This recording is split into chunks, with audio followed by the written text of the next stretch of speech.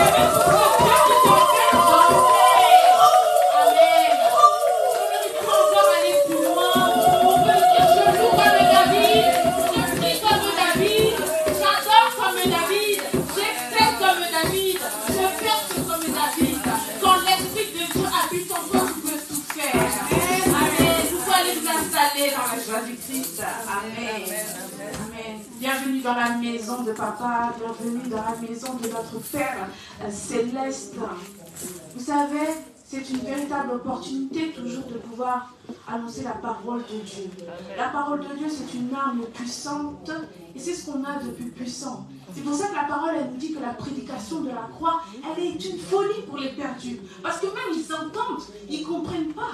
Ils ne comprennent pas pourquoi toi, en ce dimanche, alors qu'il y a des matchs de foot, alors qu'il y a ci, alors qu'il y a ça, tu quittes tout et tu viens dans la maison du Père. Pour eux, c'est une folie. Pour eux, c'est une folie quand ils reçoivent des- des- des- des examens médicaux et que c'est marqué que rien ne va et que c'est marqué que, que, que- que c'est foutu, mais que tu as toujours l'espoir en notre Père céleste. La parole de Dieu dit Je puis tout par celui qui me fortifie. Notre Dieu, on peut tout faire. Et c'est pour ça que j'avais ce chant dans la tête parce que quand l'Esprit de Dieu habite en toi, ça veut dire quand tu es né de nouveau, quand l'Esprit Saint a élu demeure en toi. Tu peux chanter comme David, tu peux réussir comme David, tu peux tout faire comme David. Parce que David, c'est l'homme selon le cœur de Dieu. C'est-à-dire, il était aussi pécheur que toi. Il commettait des. Il en a fait des verts et des pas mûrs. Mais la seule différence avec les autres, c'est qu'il avait un cœur pour Dieu. Amen. Il adorait son Dieu. On est ce cœur-là. Cœur, même si on tombe, on sait en vérité, je sais que je ne peux rien sans toi, il que toi qui es Dieu. Amen. Est-ce qu'on peut prier pour la parole du jour? Tendre Père, je te rends grâce et je te bénis. Merci parce que tu nous as donné le Saint-Esprit qui habite en nous. Tout à l'heure, on disait le Saint-Esprit nous fait jouer, nous fait danser, nous fait chanter. Mais le Saint-Esprit nous fait aussi comprendre la parole. Seigneur, que la parole qui soit annoncée aujourd'hui soit synonyme de puissance pour chacun d'entre nous. Que cette parole, Seigneur, nous puissions être convaincus, nous puissions être enseignés, qu'elle nous fasse du bien surtout et qu'on puisse la mettre en pratique.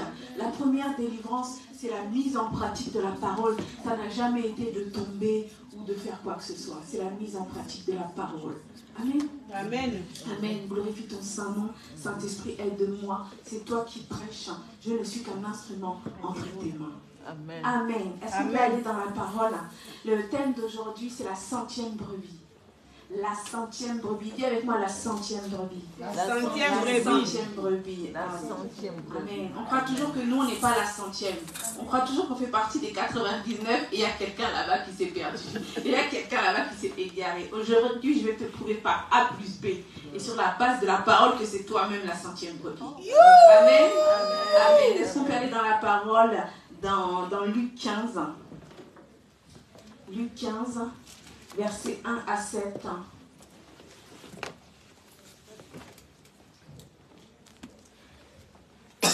On va même continuer jusqu'à 10. On le lit ensemble. C'est très important de lire la parole. C'est ça qui déclenche tout. Amen. Amen. Je le- on le lit maintenant. 1, 2, 3. Tous les publicains et les gens de mauvaise vie s'approchaient de Jésus pour l'entendre. Et les pharisiens et les scribes murmuraient, disant, Cet homme accueille des gens de mauvaise vie et mange avec eux. Mais il leur dit cette parabole en parlant de Jésus. Quel homme d'entre vous, s'il a 100 brebis et qu'il en perd une, ne laisse pas les 99 autres dans le désert pour aller après celle qui est perdue jusqu'à qu'il qu'il la retrouve Lorsqu'il l'a retrouvée, il la met avec joie sur ses épaules. Et de retour à la maison, il appelle ses amis et ses voisins et il leur dit, Réjouissez-vous avec moi, car j'ai retrouvé ma brebis qui était perdue. De même, je vous le dis, il y aura plus de joie dans le ciel pour un seul pécheur qui se repent que pour 99 justes qui n'ont pas besoin de repentance. Amen. On peut s'arrêter au verset 7 finalement. Amen. De toute façon, on retournera la parole très vite. Amen. Voilà, donc on connaît tous cette parabole. Tout à l'heure, on était dans les paraboles, là, on est encore dans les paraboles. Le Seigneur parle en images. Le Seigneur parle un peu en code pour faire comprendre euh, aux, personnes qui sont autour de lui. Et en fait, on nous dit dans ce passage que Jésus passait beaucoup de temps avec les pécheurs. Il, il allait chez eux, il mangeait avec eux. Et en fait, ça, ça lui valait beaucoup de critiques de la part des pharisiens, des sadducéens, c'est-à-dire des religieux. Parce que, en fait, eux, ils pensent comme nous, on pense aussi. Vous connaissez l'adage qui dit qui se ressemble, s'assemble. Amen. Amen. Donc pour eux, si Jésus il traînait avec ces personnes-là, c'est qu'il était comme eux. Amen. C'est ça en fait qu'ils pensaient. Et en fait, vous vous rendez compte que cet adage, elle est encore- il est encore vrai aujourd'hui.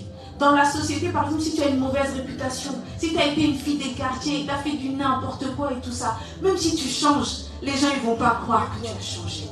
Si tu as été un grand bandit et puis tu dis aux gens que tu t'es rangé, les gens ils te disent oui comme ça, mais en vérité ils ne t'ont pas cru. Amen. Amen. Les gens, en vérité, ils ne te pardonnent pas. Ils n'oublient pas ton passé. Ils n'oublient pas ce que tu es. Ce que tu as été dans, dans- dans- dans le passé. Si tu as été drogué, même si tu as arrêté de te droguer, l'étiquette, elle sera toujours là. Amen. Et Jésus passait du temps avec des gens qui avaient des étiquettes, en fait. Qui avaient des gens, des étiquettes. Mais pourtant, pourquoi le Seigneur parle de la, centième brebis? Il dit, vous tous qui avez un- un troupeau, s'il y en a une qui se perd. Parce que ces personnes, peu importe si c'était des personnes de mauvaise vie, il y avait parmi ces personnes de mauvaise vie des prostituées. Mais ces prostituées, c'était quand même le troupeau. Pourquoi? Est-ce qu'ils n'étaient pas tous enfants d'Abraham?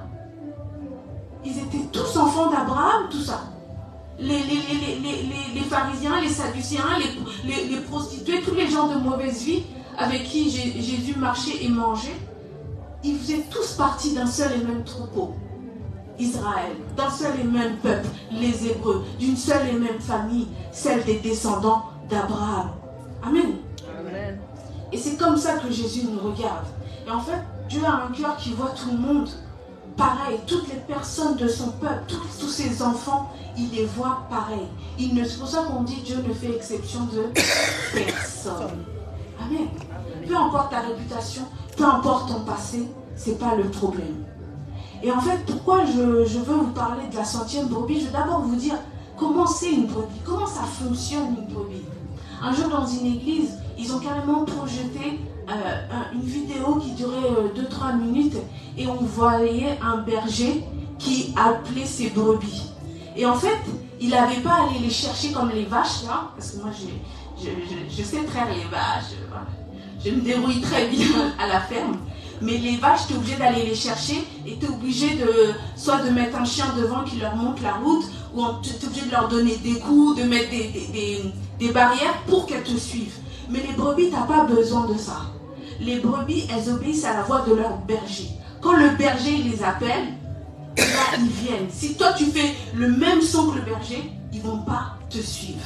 Elles sont comme ça, les brebis. Les brebis, c'est, la brebis, c'est la femme du mouton et c'est elle qui donne un, agneau. Et en fait, on dit que cet animal-là, la famille du mouton, ce sont des, des, des- des animaux qui ont un instinct grégaire. Un instinct grégaire. Un instinct grégaire, ça veut dire que, en fait, ils suivent le groupe. Et C'est pas des animaux sauvages où l'un va être là-bas, l'autre va être là-bas. Ils sont toujours, toujours en groupe. C'est ça, instinct grégaire.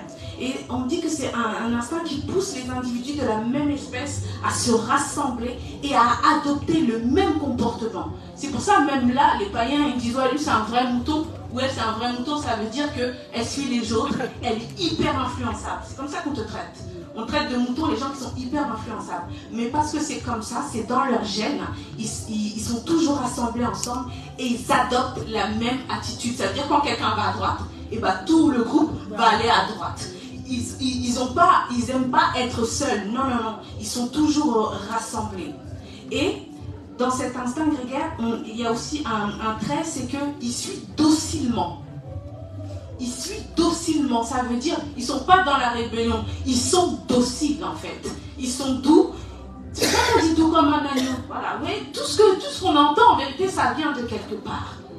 Ils sont dociles, c'est pas des, des animaux rebelles où tu dois les taper, tu dois les, tu, tu dois les éduquer. Non, non, non. Ils suivent, ils entendent la voix de leur berger et ils obéissent. Ils suivent docilement l'impulsion du groupe. L'impulsion du groupe, ils suivent docilement. Et la- le Seigneur, il est tellement bon, tout ce qu'il fait, c'est tellement parfait. Nous, il nous appelle les brebis. La brebis, c'est la femme du mouton. C'est la femme, c'est pas l'homme. C'est le mouton, l'homme. Pourquoi il nous appelle les brebis?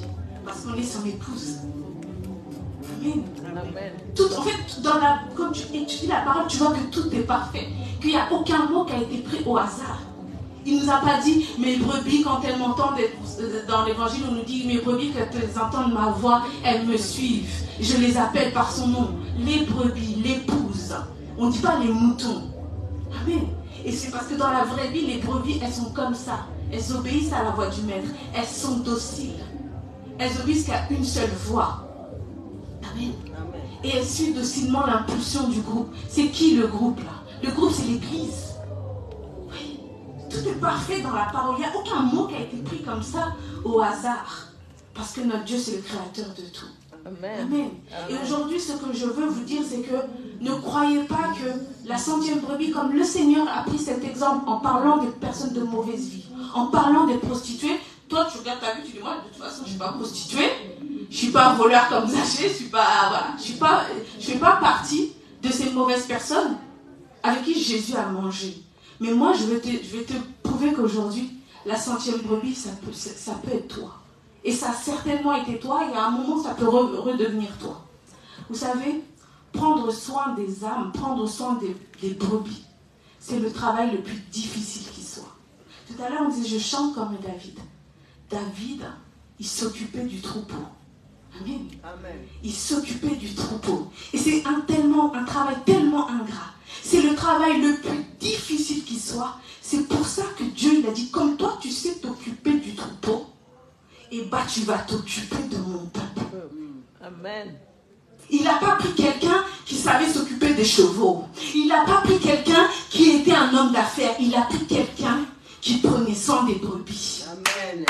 Il a pris quelqu'un qui prenait soin des brebis parce que c'est le travail le plus Et c'est tellement vrai qu'aujourd'hui même, prendre soin des âmes du Seigneur, c'est le travail le plus difficile qui soit. Amen. Amen. Ça, on aime bien les pasteurs, mais en vérité, on dit est-ce que j'aimerais être à sa place Tu hésites? tu hésites parce que tu sais que c'est chaud pour lui. Amen. Amen. Prendre soin des âmes, c'est le travail le plus difficile qui soit. Parce que tu ne penses pas à toi. Tu penses aux autres. C'est tout le contraire de l'égocentrisme, c'est tout le contraire de l'égoïsme. Tu s'occupes, tu t'occupes des autres. Tu fais passer le besoin des autres. Vous savez que même pour faire quelque chose dans la maison de Dieu, même pour venir, c'est que forcément, on a sacrifié quelque chose. Un temps, un moment, quelque chose, une activité. Même pour venir annoncer la parole, tu ne peux pas venir et tu dis comme ça. Tu as forcément sacrifié un temps où tu as été chercher la face de Dieu pour savoir qu'est-ce que le peuple avait besoin. Et c'est ce que fait l'apôtre, c'est ce que font les pasteurs, c'est ce qu'ont fait tous les serviteurs de Dieu. Quand vous venez à l'intercession, c'est un temps que vous sacrifiez pour prier pour l'Église. Amen. Amen. C'est très difficile de s'occuper des autres. Très très difficile. Faire du bien aux autres, vous savez que c'est prendre des risques. Est-ce que vous savez c'est prendre des risques? C'est pour ça qu'on lui dit Da- David, il a dû se battre contre qui? De Goliath. Avant Goliath, Des animaux. Les animaux. l'ours et le lion. Pour s'occuper des brebis, il a dû prendre d'énormes risques.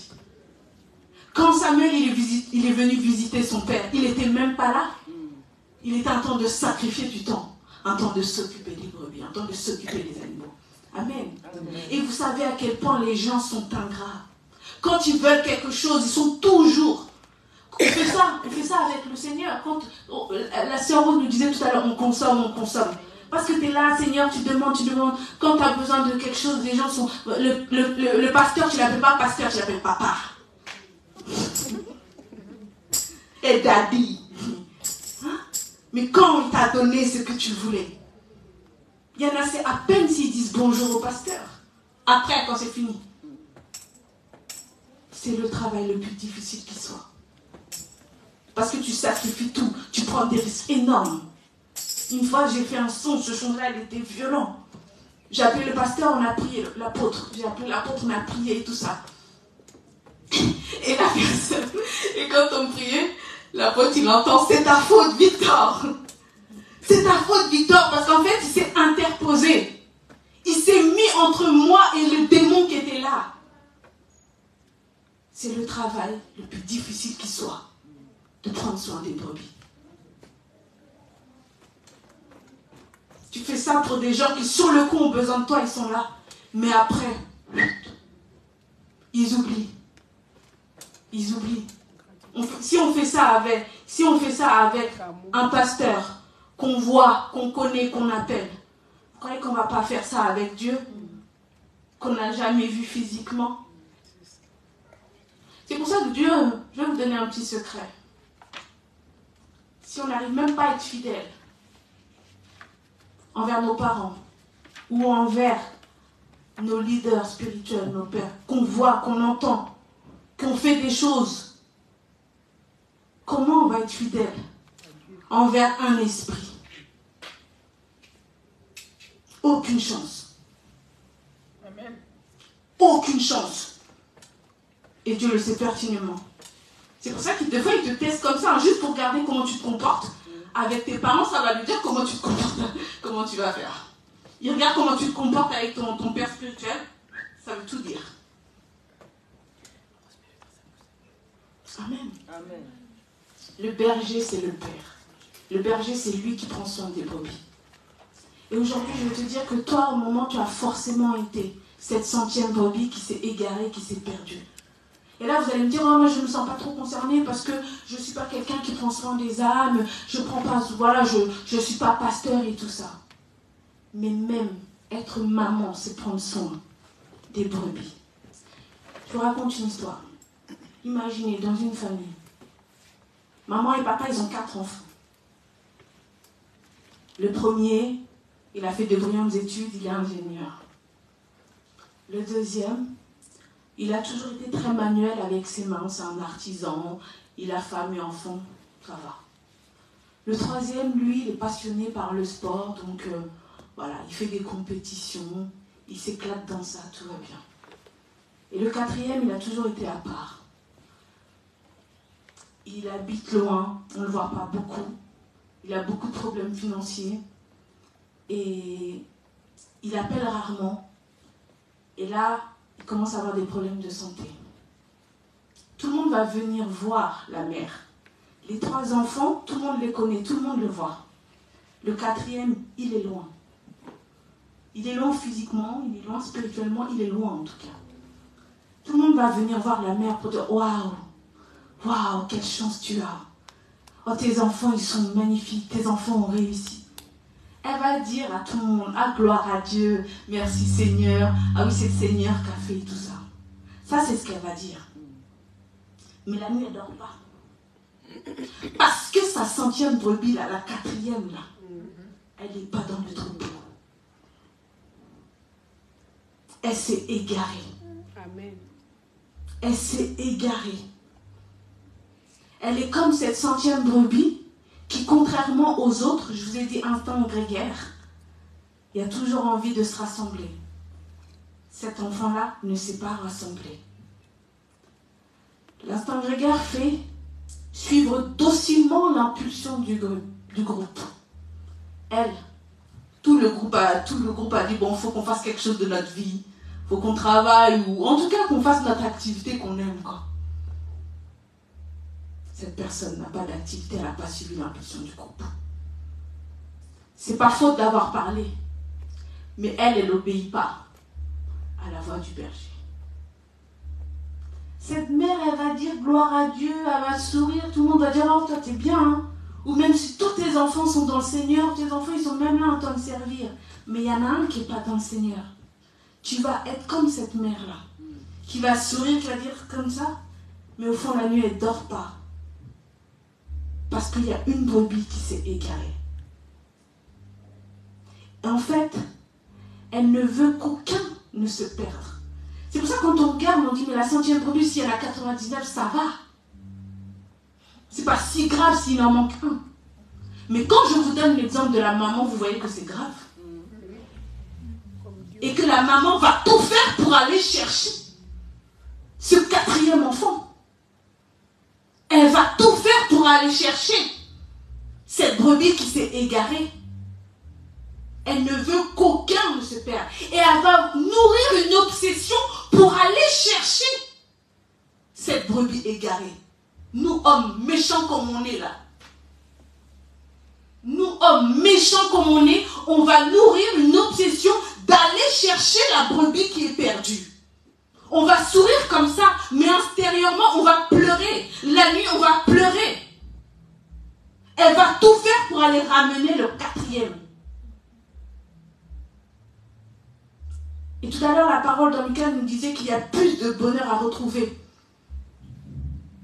Un fils perdu. Il y a plus de bonheur à retrouver la brebis perdue que, que, que, que les 99 autres qui sont justes et qui n'ont pas besoin de repentance. Vous avez vu même la parole du fils prodigue? Comment il était, quand il avait plus de joie.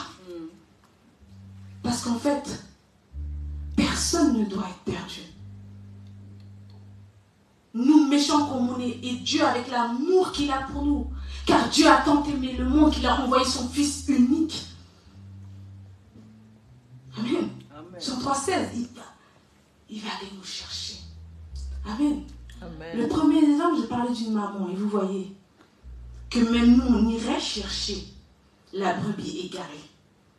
Une brebis qui n'a pas le même comportement que les autres. Est-ce qu'on peut aller dans la parole dans Matthieu 8 Je vais vous donner un autre exemple.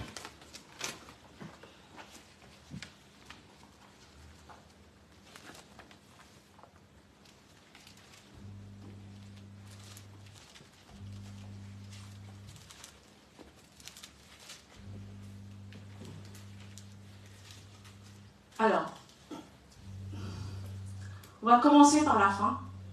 Hein. Euh, on va commencer par Matthieu 8, 28. Et après, on va faire Matthieu 8, 23. Ok Matthieu 8, 28, et on va aller jusqu'au 34. Lorsqu'il fut de l'autre bord, dans le pays des Gadaréniens, deux démoniaques, sortant du sépulcre, vinrent au-devant de lui. Ils étaient si furieux que personne n'osait passer par là. Et voici, ils s'écrièrent, Qu'y a-t-il entre nous et toi, fils de Dieu? Es-tu venu ici pour nous tourmenter avant le temps? Il y avait loin d'eux un grand troupeau de pourceaux qui paissaient. Les démons priaient Jésus disant, si tu nous chasses, envoie-nous dans ce troupeau de pourceaux, c'est des porcs. Il leur dit, allez. Ils sortirent et entrèrent dans les pourceaux. Et voici tout le troupeau se précipita des pentes escarpées dans la mer et ils périrent dans les eaux.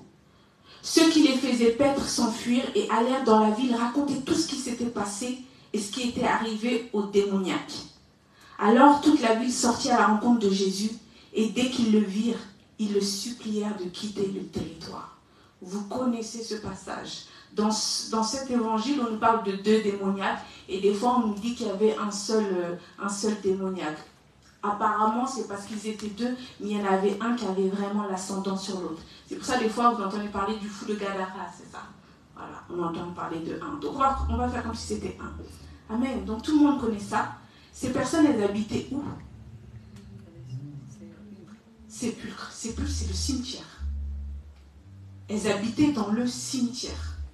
Elles n'habitaient pas avec les autres. Ils n'habitaient pas avec leur famille. Ils étaient possédés par des démons. Et Jésus a chassé les, esprits, les démons qui étaient entre eux. Et les démons sont partis se jeter dans les bébés des porcs. Et ces porcs, ils sont, partis se jeter dans la mer. Et c'est là qu'ils ils ont péri, c'est-à-dire ils sont morts. Et on voit la réaction des gens qui s'occupaient des porcs. Ils sont partis prévenir tous les gens dans la ville. Et les gens, ils ont chassé Jésus. Ils l'ont supplié de quitter la ville. Vous avez vu, même quand il y a un fou dans une ville, comment on, essaie de passer à côté, là, il y a des gens qui habitent dans le cimetière, des gens qui étaient furieux, complètement possédés. Jésus les guérit en les délivrant. Toute la ville s'acharne contre Jésus parce que... Oui, parce qu'il les a délivrés. C'est quand même dingue. Mais parce qu'aussi, ils ont perdu des porcs. C'est surtout ça. C'est ça, la, la vérité, c'est ça. Les gens, ils regardent à... Voilà, là, il n'y a plus de troupeau de porcs. là. Mais que les gens restent dans, dans, dans le cimetière, C'est pas leur problème. c'est pas leur problème. Ça, ça c'est pas grave. On peut laisser comme ça, mais par contre, nos porcs, on en a besoin. Sachant qu'ils n'en mangent pas. Donc c'est vraiment que pour le commerce. Parce qu'ils n'en mangent pas. Amen. Amen. Ok. Ce que je. Le rapport avec la centième brebis. Si on remonte juste le passage au-dessus, Matthieu 8, verset 23 à 27, nous dit Il monta dans la barque et ses disciples le suivirent. Et voici, il s'éleva sur la mer une si grande tempête que la barque était couverte de flots. Et lui, il dormait. Les disciples s'étaient approchés, le réveillèrent et dirent Seigneur, sauve-nous, nous périssons. Il leur dit Pourquoi avez-vous peur, gens de peu de foi? Alors il se leva, menaça les vents et la mer et eut un grand calme. Ces hommes furent saisis d'étonnement. Qui est celui-ci, disait-il, à qui obéissent même les vents et la mer? Donc, ça, c'est le passage juste avant que Jésus arrive sur le territoire des Gadaréniens. Pour pouvoir aller sur ce territoire qui était sur la côte, il a dû braver la tempête. Amen. Et c'est fou, le fou de Gadara, il ne vivait pas avec les autres, comme je vous disais. Il vivait dans le cimetière. Vous imaginez quand tu vis dans les cimetières, comment doit être ta vie? À quoi tu dois même ressembler physiquement? Qu'est-ce que tu dois manger? Il vivait, ça veut dire il restait là-bas. C'est pas je fais des courses, je viens, je me suis installé une petite, euh, une petite cabane. Non, non, non. Ça devait être déjà mi- mo- mi-vivant, mi-mort.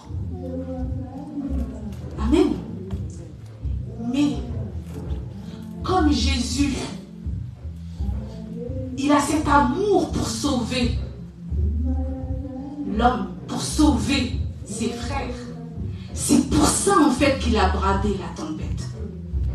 Jésus connaît tout. Il savait que là, c'est en vérité, c'est peut-être pas le bon moment de prendre la mer. En vérité. Nous, on se fait surprendre. Des fois, tu prends l'avion, tu dis, ah bah finalement, il y a, y a y a des secousses, parce que tu connais pas. Mais lui, il savait très bien quel, allait être le temps, quelle allait être la température, quelle allait, être la force de la tempête.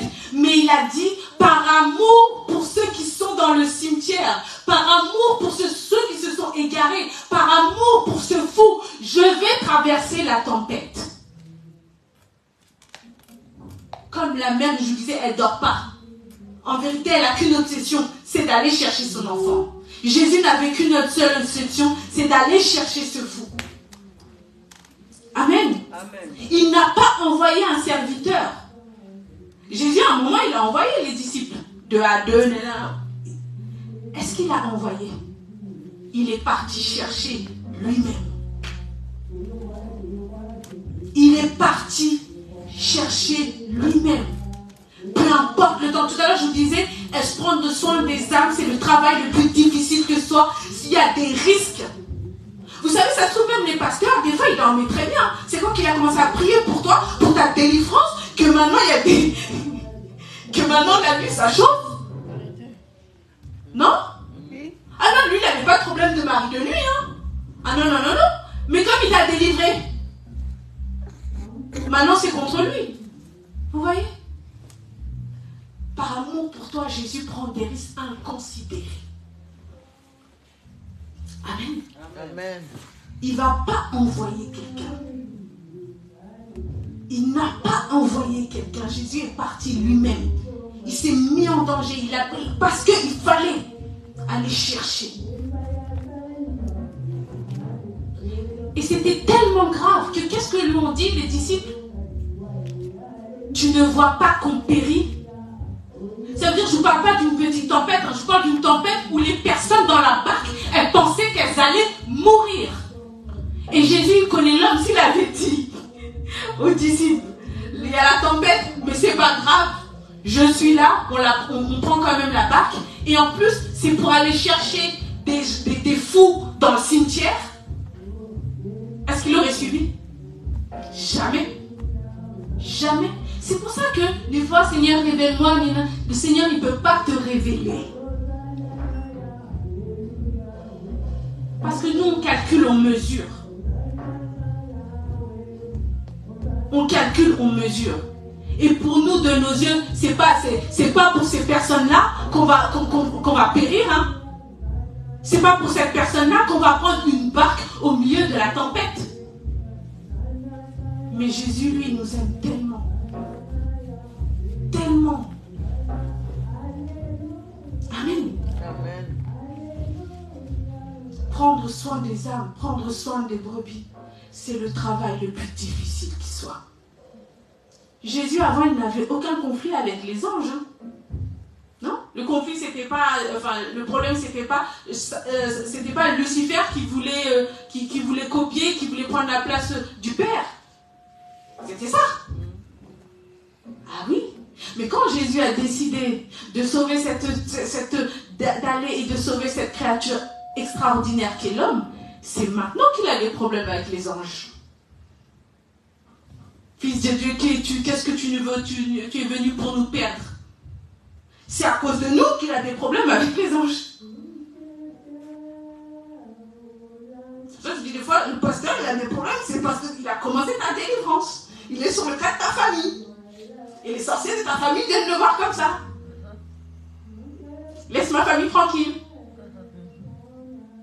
C'est pas ça? Amen. Amen. Mais peu importe le moyen. Si la mère, là, elle va tout faire, elle a une obsession pour amener son enfant. Dieu a cette même obsession de nous ramener, d'aller nous chercher. Même le fait qu'on est, là, c'est qu'à un moment, le Seigneur a une obsession d'aller te chercher. Une obsession de te ramener à la maison. Une obsession pour te ramener dans le troupeau qu'est l'église. Une obsession pour que tu retrouves le troupeau. Pour que tu réentendes, que tu suives docilement l'impulsion du groupe. Amen. Et qu'est-ce qu'ont fait les hommes? Ils ont cherché Jésus. Vous voyez comment c'est ingrat C'est ingrat. Il n'y a pas eu de remerciement. Ils n'ont pas fait une fête. La famille, elle a dû retrouver son père ou je ne sais pas. Ils avaient bien une famille, ces gens-là. Mais non. Dégage, dégage, quitte la ville, quitte la ville. Tu nous fais perdre de l'argent. Vous voyez? Moi, je pense que c'était parce qu'ils avaient perdu un troupeau de pourceaux. Et aussi parce que je pense qu'ils étaient également pécheurs et ils avaient peur que, que Jésus, la puissance spirituelle de Jésus. Amen. Donc on a vu le premier exemple, la maman. On a vu le deuxième exemple, Jésus. Jésus, l'homme de Galilée, celui qui est né à Nazareth. Et le meilleur exemple, le plus grand exemple, c'est celui de papa. C'est celui de notre Père. Dieu le Père. Vous savez, Adam, il a été la brebis perdue.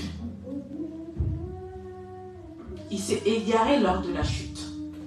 Parce que la voie à laquelle il a obéi là, c'est pas la voie de son berger. Ça veut dire que toi, dis-toi, à chaque fois que tu vas pas obéir à la voie là, c'est ce qui peut t'arriver. Il n'a pas suivi docilement. L'impulsion qui avait été donnée, l'impulsion c'était de travailler dans le jardin d'Éden, de rester dans le jardin d'Éden. Amen. Adam, l'homme, a été la brebis perdue. Et le Père, il a dit, mais qui enverrai-je? Qui enverrai-je? Et c'est pour ça que, même il a regardé les hommes, les anges, il a, il a trouvé que les anges n'étaient pas assez dignes.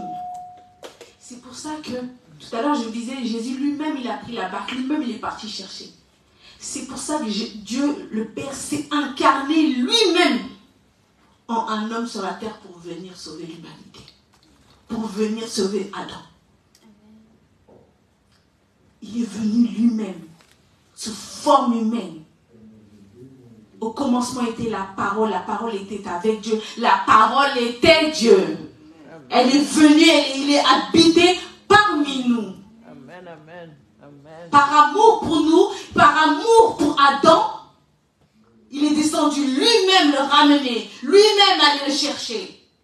Parce que Adam, quand il a péché, il a été cette centième brebis. Et toi, tu crois comme tu n'es pas prostituée, tu n'es pas cette centième brebis. Hein?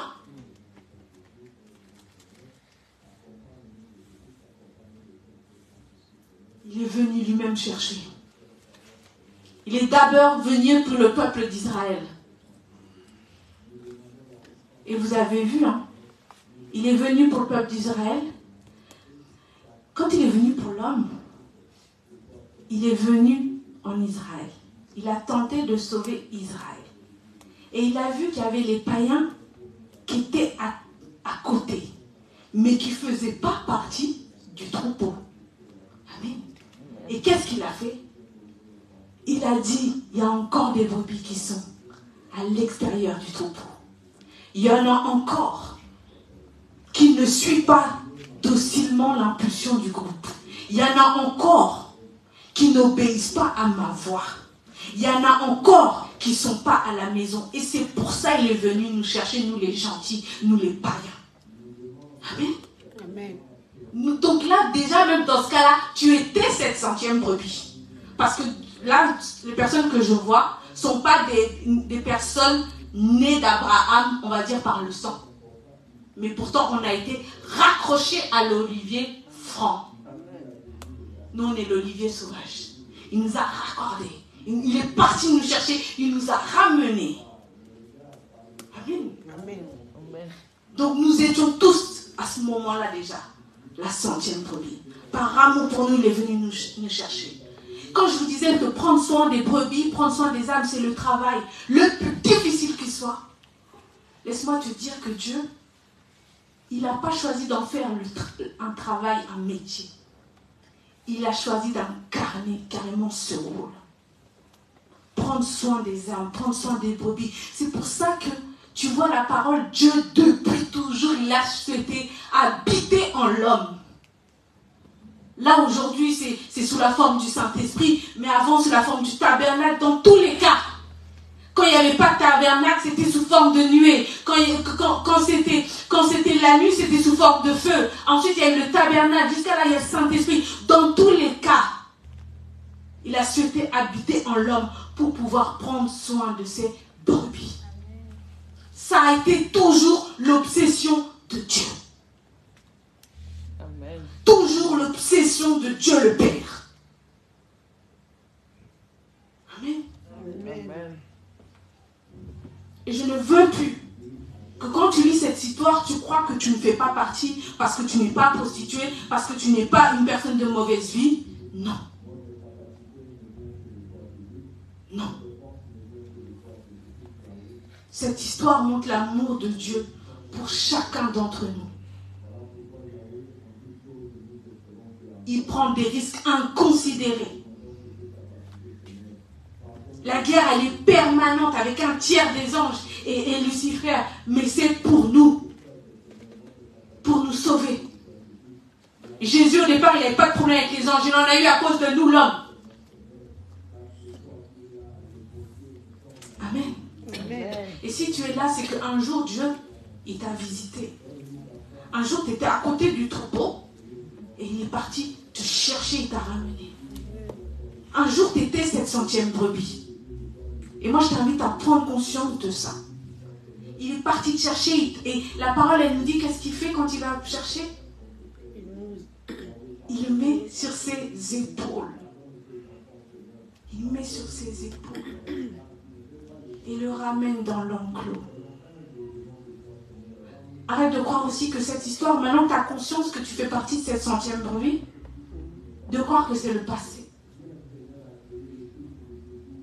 Aujourd'hui, quand la parole nous dit que venez à moi, vous tous qui êtes fatigués et chargés, et je vous donnerai le repos. Tu as le repos parce que ce n'est plus toi qui portes, mais c'est lui qui te porte. Je ne sais pas ce que tu traverses, mais c'est le moment de dire à papa, papa, ramène-moi. Papa, ramène-moi auprès de toi. Papa, porte-moi sur tes épaules, ce problème, il est trop dur. Papa, porte-moi parce que ça a duré trop longtemps. Papa, ramène-moi dans l'enclos. L'enclos, il est sécurisé. Amen. Amen. Est-ce qu'on peut se lever pour prier?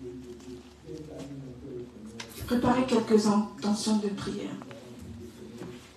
Mais cette parole, elle est pour nous. Car Dieu a tant aimé le monde qu'il a envoyé son Fils unique, afin que quiconque croit en lui ne soit pas perdu, mais ait la vie éternelle. Nous, nous ne sommes pas les descendants directs, je parle sanguin d'Abraham. Mais si nous sommes là, c'est qu'il a été déjà nous chercher. Et la situation que tu traverses prouve que il doit encore venir te chercher et te porter sur tes épaules. Amen. Je vous ai dit, ne soyons pas ingrats. Ne soyons pas ingrats avec le berger que Dieu nous a assigné sur la terre. Et ne soyons pas ingrats avec notre Seigneur et notre Père. Amen. Amen. Tu vas prier. Parce que je veux qu'aujourd'hui, tant que la personne n'a pas reconnu à quel point il était pécheur, Dieu ne peut pas venir l'assister. Amen. Tant que tu n'as pas reconnu que tu n'en pouvais plus, Dieu ne peut pas venir. Tant que tu n'as pas venez à moi, vous tous qui êtes pas. Il y a venez. Il y a cette action de venez. C'est à toi de venir vers le Père et de lui dire je suis fatigué. Tu vas reconnaître que tu es pécheur. Et tu vas dire au Seigneur aujourd'hui de quoi tu es fatigué. De quoi tu es fatigué Qu'est-ce qui fait que là vraiment tu as besoin qu'il te porte sur tes épaules Et lève-toi. J'aimerais que tout le monde se lève. On n'est pas très nombreux. On peut tous se lever pour prier. À moins que tout va bien et que, je sais pas moi. Tendre Père, je te bénis, je t'élève. Merci pour ta parole d'aujourd'hui. Seigneur, ta parole, elle nous fait comprendre, elle nous donne conscience de ton amour pour nous qui n'a ni commencement ni fin, parce que tu nous aimes d'un amour éternel. Seigneur, je veux reconnaître qu'aujourd'hui que je ne suis pas meilleure que la prostituée. Je ne suis pas meilleure que ceux, qui marchaient avec Jésus et dont Jésus mangeait ses jeux. Je ne suis pas meilleure que Zachée, même si je ne suis pas reconnu, reconnu voleur. Seigneur, moi aussi je pêche. Moi aussi des fois je n'obéis pas à ta voix. Seigneur, je reconnais ma nature de pécheur. Et je reconnais que tu es saint, trois fois saint. Mais la parole, elle dit que le Fils de l'homme a le pouvoir de pardonner les péchés. Pardonne-moi, pardonne mon frère, pardonne ma soeur. Seigneur, je veux reconnaître, nous voulons reconnaître, Seigneur, que nous avons besoin de toi. Seigneur, tu vas nous chercher là où nous sommes enfermés. Va nous chercher, Seigneur, là où nous avons été rendus captifs. Viens nous chercher là où le diable nous a enterrés. Viens nous chercher, Seigneur, dans cette difficulté qui dure des années. Viens nous chercher dans la stérilité. Viens nous chercher dans l'addiction, dans la cigarette, dans l'addiction à l'alcool. Viens nous chercher dans les problèmes financiers, Seigneur. Seigneur, nous sommes là, nous te demandons de venir nous porter sur tes épaules. Nous ne pouvons plus, ça duré trop longtemps. Nous sommes à bout de force, papa. Nous sommes fatigués d'attendre les papiers. Nous sommes fatigués d'attendre ce courrier. Nous sommes fatigués d'attendre que ça se débloque, Seigneur. Nous te prions pour que tu viennes nous chercher, que tu nous portes, Seigneur, sur tes épaules. Même marcher, c'est trop difficile pour moi. Même poursuivre, Seigneur, c'est trop difficile pour moi. Viens me porter, papa. Je reconnais que je suis faible sans toi. Je reconnais que je n'y arriverai pas sans toi. Je n'y arriverai pas dans le ministère sans toi. Je n'y arriverai pas dans mes études sans toi.